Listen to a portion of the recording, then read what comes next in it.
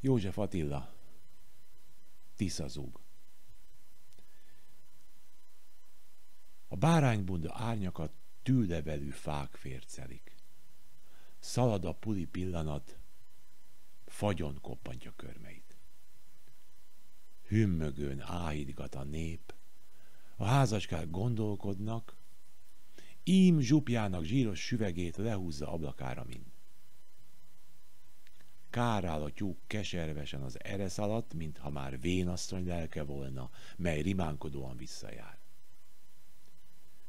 Belül is pöttyös állatok, ütődött kékes öregek gugolnak, mordulnak nagyot csupán, hogy ne merengjenek.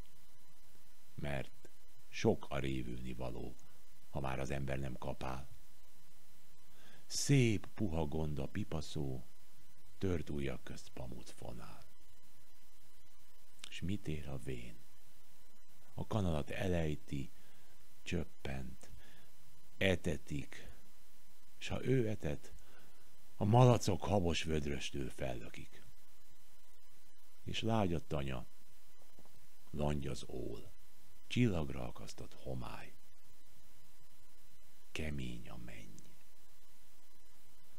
A gaj alól bicegő cinke sírdogál.